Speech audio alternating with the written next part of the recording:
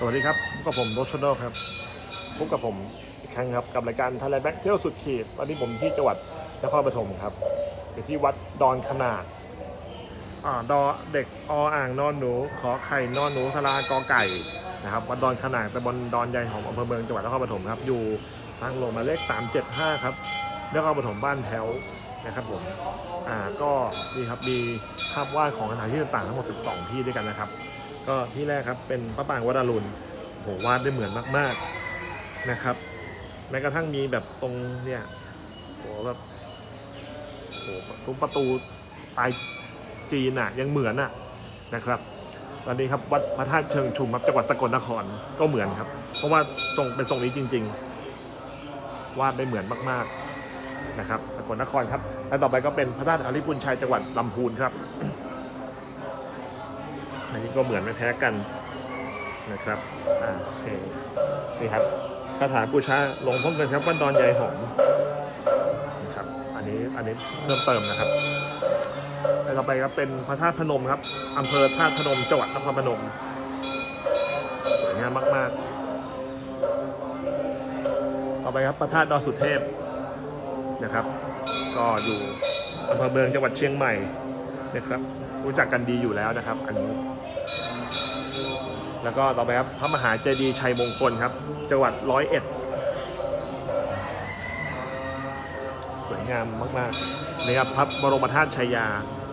นะครับอำเภอชัยยาจังหวัดสุราษฎร์ธานีนะครับ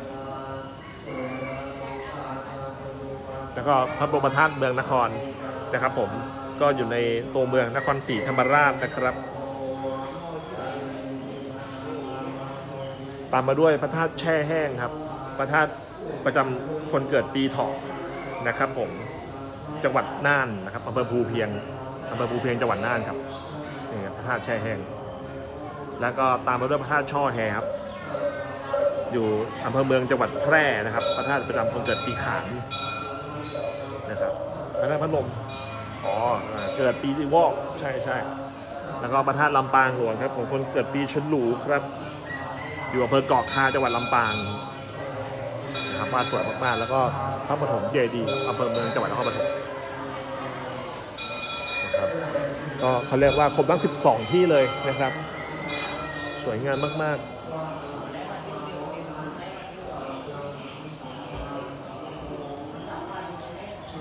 พระธาตุดอยสุเทพพระธาตุดอยสุเทพคนเกิดปีมะแม่ อ่าพระเจ้าอาริบุญชัยของคนเกิดปีตะกาอ่าโอเคตามนี้ใช่นอกนั้นไม่มีนะครับ แต่ว่าสวยทุกที่ครับ ไปวัดไหนไปสถานที่ไหนก็ได้นะครับ อันนี้คือภาพวาดที่อยู่ในบริเวณวัดนะครับ ผมดอนขนาดวัดดอนขนาดนะครับ โอเคครับผมคร่าวๆประมาณนี้ ตอนนี้ผมอยู่ที่จังหวัดนครปฐมก็ปิดท้ายกันที่รูป จังหวัดนครปฐมครับ ก็คือวัดพระปฐมเจดีย์ครับ โอเค ขอบคุณครับ สวัสดีครับ